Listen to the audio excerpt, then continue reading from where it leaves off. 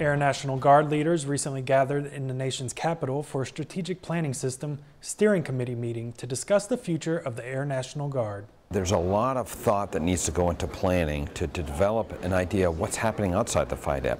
How can the Air National Guard set a structure that's enduring, yet flexible, that's appropriate, that, that can change, and yet be very relevant to the U.S. Air Force? And the SPS does that very, very well. From these discussions, this committee will formulate recommendations for the Director of the Air National Guard's long-term strategic planning. We look forward to the, seeing the, the, you know, the fruits of our labor uh, take, uh, take hold, and it will just help to strengthen uh, that mission set as we go forward for all of the 54. And that's your Minuteman Report.